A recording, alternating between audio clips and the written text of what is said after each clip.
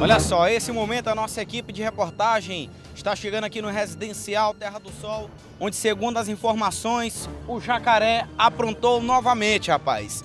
E nós estamos retornando aqui para acompanhar de perto essa situação. A equipe da Polícia Militar já chegou aqui ao local nós estamos acompanhando de perto essa situação. Olha só, a gente está acompanhando aqui nesse momento o trabalho da equipe da Força Tática do 15º Batalhão. Foi acionada aqui para mais uma vez confusão na casa do seu jacaré, rapaz. Seu jacaré que já é mais conhecido do que todo mundo, rapaz. O seu jacaré está aqui no local a respeito dessa situação. Ele disse que ele estava badernando, estava fazendo confusão aqui. A gente vai acompanhando aqui a situação. A gente pode perceber que ele está morto de bebo.